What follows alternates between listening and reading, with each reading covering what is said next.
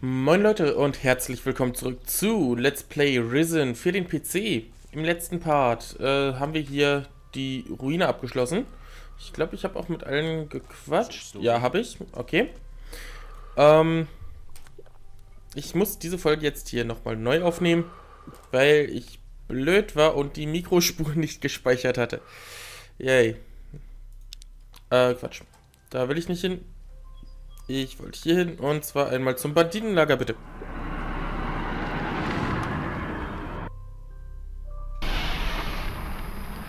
So. Dann sind wir jetzt hier. Äh, Moment, da ist der Weg raus. Den suche ich jedes Mal aufs Neue. Naja, egal. So. Wir haben aktuell 20 Lernpunkte. Die wollen wir auch ein bisschen verbrauchen. Und ich habe auch schon eine Idee, wie. Der Osttempel ist erschlossen. Sehr gut. Und weiter? Wie ist die Ausbeute? Eher mager. Ich denke, dass ihr mehr erwartet habt. Ich habe es geahnt. Gut, dann werden wir weitersuchen müssen. Was ist mit meinen Männern? Wo ist Danilo? Für die Männer war es kein großes Vergnügen. Sie hatten mit einigen Problemen zu kämpfen. Danilo hat es nicht geschafft. Er wurde im Osttempel getötet. Verdammt, er war ein guter Mann. Na gut, trotzdem danke für diese Nachricht. Kannst du mich im Kampf unterrichten? So, und zwar lernen wir hier erstmal Schwertkampf 4. Unterrichte mich im Schwertkampf. Wie du die Angriffe deines Gegners unterbrechen kannst, weißt du ja schon. Aber ich verrate dir mal einen Trick. Wenn du sehr nah an deinem Gegner bist, kannst du ihm meistens noch einen mitgeben. Vor allem lohnt es sich, diese Schläge in deinen Kombinationen einzusetzen. So, äh, Schwertkampf 5 klingt zwar auch interessant, aber da können wir erstmal Sinnvolleres äh, machen, sage ich mal. Und zwar ähm, komme ich eigentlich zum Don. Aktuell. Nee. Nicht wirklich. Okay, der Don hat sich gerade in seine Priva äh, Privatgemächer verzogen. Na gut. Äh, wir wollen wollen wir was herstellen? Ne, dafür haben wir zu wenig Zeug. Das lohnt sich nicht. Ähm, aber wir wollen hier mal ein bisschen aufräumen, sage ich mal. So, und so. Sehr schön. Dann trinken wir mal den hier. Okay. Dann schaue ich mal kurz nach. Lehrer im Banditenlager. Muss schießen, Trophäen. Kampflehrer, starke Schwertkampf. Hm. Okay. Schon merkwürdig, dass ich hier keinerlei Lehrer habe für Taschendiebstahl. Zum Beispiel. Na gut. Dann wollen wir... Dann wollen wir einmal in die Vulkanfestung. Dann wollen wir einmal in die Vulkanfestung. So.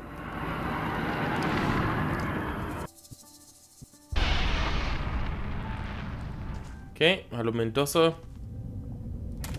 Und hier in der Vulkan... Oder, na, in der Vulkanfestung selber wollen wir eigentlich nichts. Wir wollen von dort aus dann uns aber ein Stück nach Süden begeben. Beziehungsweise, wenn ich jetzt sowieso schon hier bin, ähm, können wir auch gleich mal mit den namenlosen Gräbern beginnen. Weil eins davon, Moment, äh, nee, nicht Lehrer, hier, und zwar äh, namenlose Gräber. Eins ist nämlich hier direkt in der Nähe. Da wollen wir doch einmal direkt hin. Wenn wir hier schon mal hier oben sind, dann machen wir das auch direkt. So. Na denn, Jungs und Mädels. Lasst mich mal hier durch. So. Ist das jetzt hier schon, dass ich darüber komme, oder ist das ein Stück weiter unten? Das ist ein Stück weiter unten, aber das ist nicht allzu hoch hier. Verliere ich zwar ein bisschen Leben, aber das ist äh, verkraftbar. So, oh. Echsenmenschen. Zumindest einer. Na, der zweite wird wahrscheinlich auch in der Nähe sein. Weil die sind ja immer zu zweit unterwegs. Ich habe es zumindest noch nie gesehen, dass hier irgendwo nur einer war. Okay, hier ist schon mal nur einer. Irgendwann ist immer das erste Mal. So. Teleportstein. Nice. Sehr gut. Okay.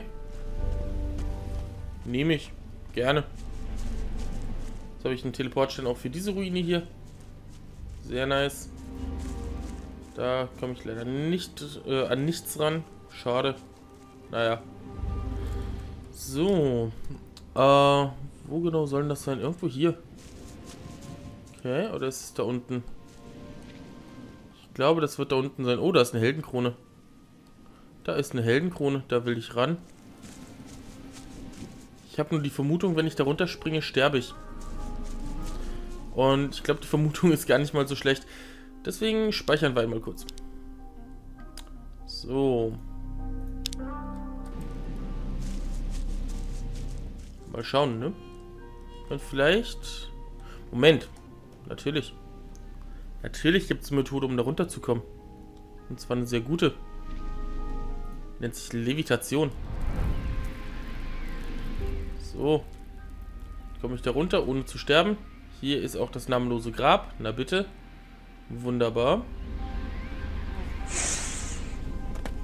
So. Danke für die Heldenkrone. Hier ist was vergraben. So, dann schauen wir hier doch mal. Was haben wir denn hier?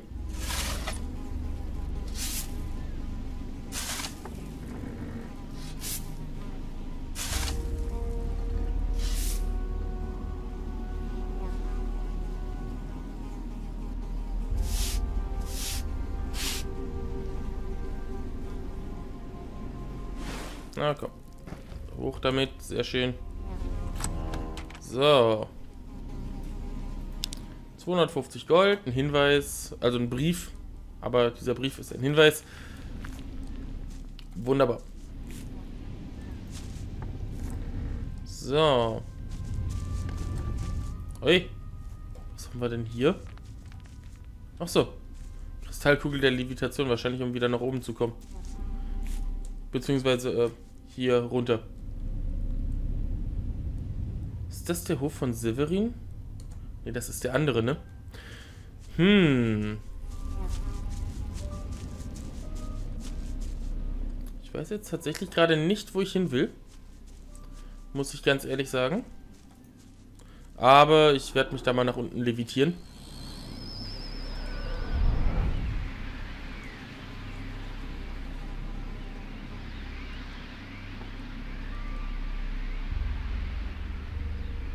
So. Ja, das ist der von Dingenskirchen, wie auch immer er heißt. Da drüben ist der von Severin. Okay. Aber da sind wir auch gleich. Und durch die Levitation kommen wir hier jetzt ziemlich schnell voran, weil wir den direkten Weg nehmen können. Und das ist sehr gut.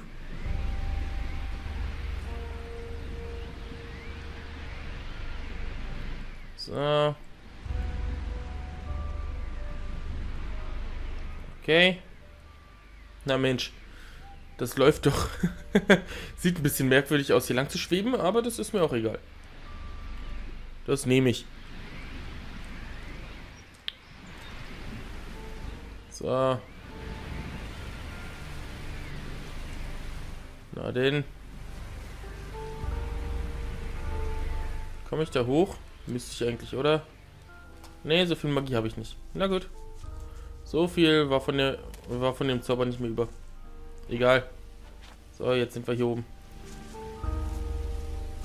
Okay.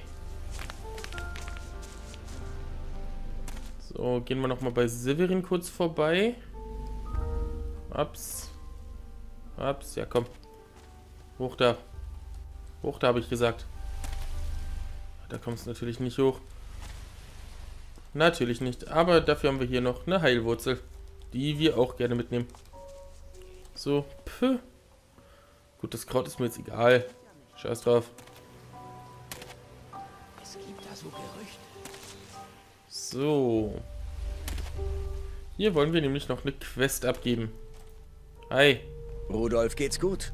Er hat beide Hände voll zu tun bei der kleinen Ruine im Westen. Ah, sehr gut. Er lebt also noch. Das ist beruhigend. Ich hatte schon das Schlimmste befürchtet. Hier, nimm diesen Zauber als Dank von mir für diese gute Nachricht. Dankeschön. So. Dann wollen wir mal hier so ein bisschen schräg durch den Wald durch. So, die Richtung hier müsste in etwa stimmen. An dem Kristall vorbei. So, hier mal runterfallen lassen. Kein Problem. Oh, eine Ogerwurzel. Schön. Nehmen wir mit. Nehmen wir mit. So. Wir wollen nämlich hier einmal zu Marvin. Denn wir haben ja den den Untoten, der ihn da verfolgt hat. Ne, den Burgherrn Patroskon haben wir ja erledigt. Der untote Burgherr Patroskon ist erledigt. Du hast ihn zerstört? Dem Himmel sei Dank. Dann müsste der Fluch ja gebrochen sein. Aber, aber irgendwas stimmt nicht. Ich spüre immer noch die Präsenz dieser Unholde. Tja, scheinbar ist der Fluch noch nicht gebannt. Nein, ich spüre es. Die Untoten wollen sich für das Unrecht rächen, was ihnen Patroskon angetan hat. Erst wenn du alle Vasallenringe dieser elenden Kreaturen an dich genommen hast, werden sie damit aufhören. Ja, ja, bleib locker. Ich mach das schon. Hoffentlich. Ich halte das langsam nicht mehr aus. Ich habe einem untoten Burgherrn diesen Vasallenring abgenommen. Er sieht genauso aus wie deiner. Dann könnte es tatsächlich mit meinem Ring zu tun haben, dass die Untoten mich aufsuchen. Zumindest ist das schon mal ein Hinweis. Oh Mann, hätte ich dieses verdammte Ding bloß nie angefasst. Such bitte weiter. Wo einer ist, sind bestimmt auch noch mehr. Jo. Werden wir. Aber erstmal ähm, gehen wir hier kurz rein an die Truhe und pennen. So, bis zum nächsten Morgen.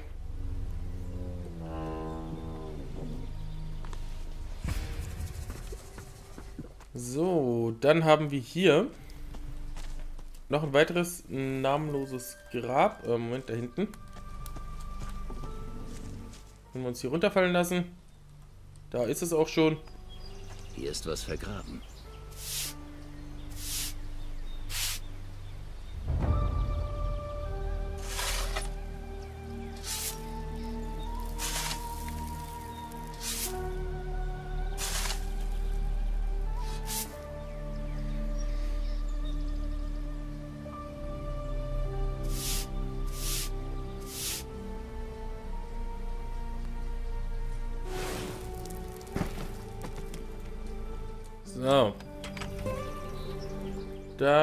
Sogar was sehr Schönes drin.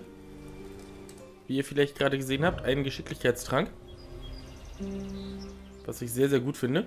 Ich meine, ich brauche zwar aktuell nicht mehr wirklich äh, was an Geschicklichkeit, aber kann nicht schaden, das zu haben. So, hier haben wir ein paar Wölfe, die uns nicht so ganz nett finden. Warum auch immer. Wir sind doch eigentlich ganz liebe Leute. Aber naja. So. Autsch.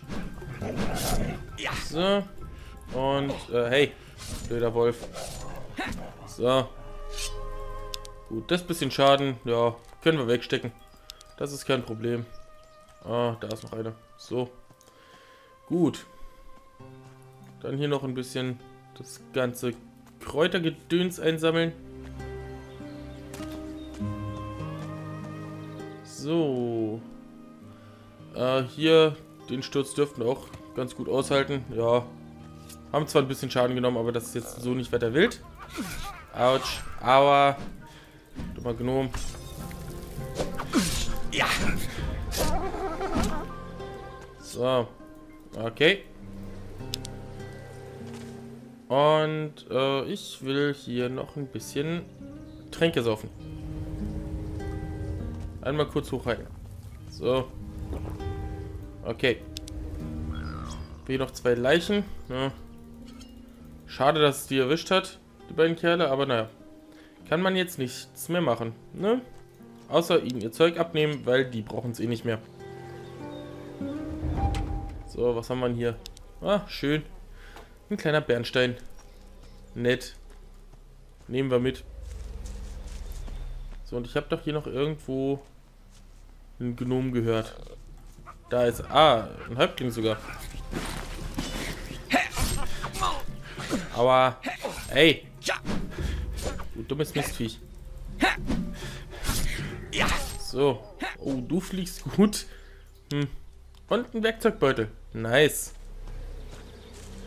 So, wir könnten jetzt natürlich einmal mit der Levitation darüber schweben. Um zu sehen, was da ist. Oder, ähm, wir gehen hier den Weg direkt lang. Äh, was wir auch machen werden. Wir gehen hier ein bisschen lang. Denn man kann sich ja jetzt mal hier um die namenlosen Gräber kümmern. Die Idee finde ich eigentlich ganz cool.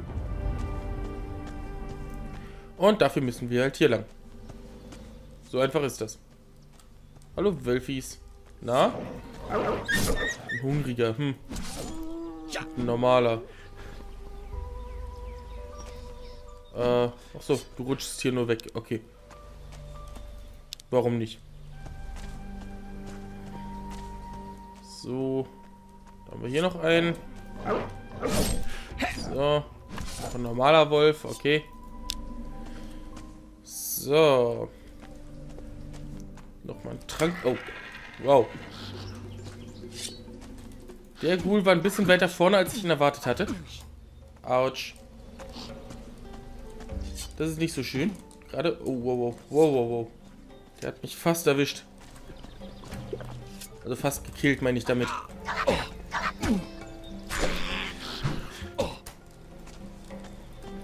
Alter Vater. Ich hasse Ghouls. Ja.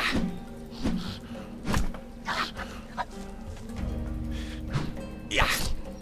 So, okay.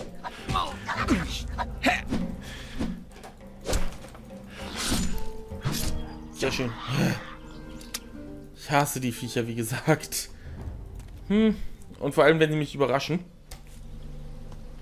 Und ähm, ich hatte am Anfang der Folge gesagt, ich habe die Folge hier schon mal aufgenommen.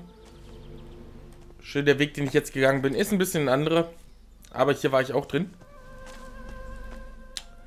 Und ähm, da war der Ghoul ein bisschen weiter hinten. Deswegen, der war dann hier. Quasi da, wo jetzt dieser zweite steht. Da waren dann beide auf einmal. Ähm, und dadurch hatte ich natürlich nicht mit dem Ghoul gerechnet. Gerade eben. Weil ich dachte, ja, der steht wieder weiter hinten. Ey, komm schon. Nee, nee, nee. Nee, nee, nee. Nee, nee, nee. Du bringst mich nicht um, du Mistviech.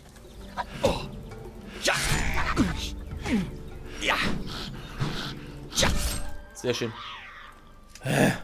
Mann. So. Dann wollen wir hier nochmal durch. Denn hier findet sich noch ein bisschen was, ja, mehr oder minder interessantes, sage ich mal. Aber wir wollen natürlich alles haben, was wir kriegen können. Ganz klar. So, dann speichern wir hier aber einmal. Denn, ähm, ja, hier kriegen wir es jetzt mit ein paar Gegnern zu tun. So. Na komm. Okay. Und... Na, das hat jetzt ein anderes Skelett getroffen. Egal. Solange ich den irgendwie ein bisschen Schaden mache, ist das in Ordnung. Aua.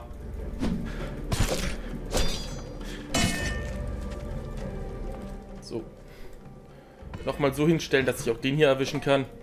Weil ich habe jetzt keinen Bock, dass der mir in den Rücken schlägt. Ja. So. Okay. Aua. Mano. Drecksäcke.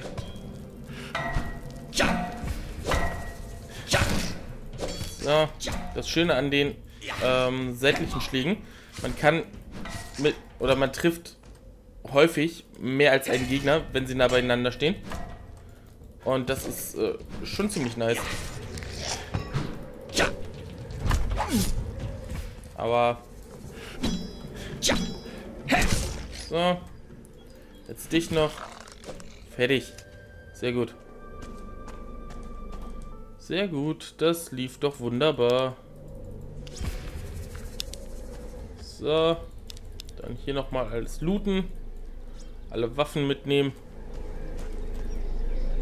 So, auch hier den stabilen Ast. Okay. Ah, hier sind sogar noch zwei Skelette. Die gerade eben nicht mitgekommen sind.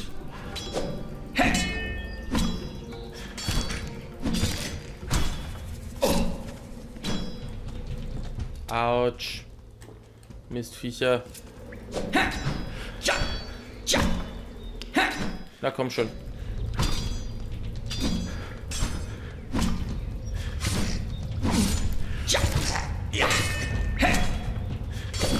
So, okay. Erstes weg, zweites weg. Wunderbar. Mann, Mann, Mann. Dafür habe ich jetzt keine normalen Heiltränke mehr. Aber egal. So, hier haben wir eine Spruchrolle Witz erzählen. Die ist jetzt nicht ganz so interessant, muss ich sagen. Hier haben wir einen kleinen Bernstein. Der ist schon ein bisschen was interessanter. So, die Heilpflanze nehme ich auch sehr gerne mit. Und hier haben wir eine Rezeptur für einen äh, sehr interessanten Trank. Nämlich für na, einen Trank, der unser Mana permanent erhöht. Ich meine, schön für unser aktuelles Bild mit, ähm, mit Bogen und Schwert ist das nicht ganz so interessant. Aber wenn man tatsächlich Magier wird, ist das mit der wichtigste Trank. Weil man wird so viel Mana brauchen. Die Zauber sind so teuer an Mana. Und man möchte ja auch nicht alle drei Schritte einen Mana-Trank saufen. Das wäre ja ein bisschen Banane. So. Dann würde ich sagen, schauen wir uns hier noch mal kurz um. Moment, was habe ich denn da oben gerade noch gesehen? War ich da schon mal? Ich weiß es gerade nicht. Auf jeden Fall ist da oben irgendwas. Okay. Ne, hier war ich noch nicht. Na bitte. Ja, ich meine, wie gesagt, Witz erzählen ist jetzt nicht unbedingt ähm, der wichtigste Zauber. Aber immer gut zu haben. So, da haben wir ein paar Keiler. Die will ich nach Möglichkeit auf Distanz erledigen.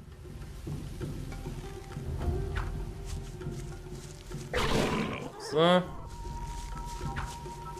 Mist. Ja gut, dann nicht. Dann kommt der Rest jetzt eben auf die äh, altbekannte Methode. So. Okay. Ja, Keiler können halt ziemlich gut zuhauen, deswegen möchte ich da so viel wie möglich Schaden auf die Distanz machen. So. Dann wollen wir doch nochmal hier runter gehen. So, die Minze nehmen wir auch noch mit.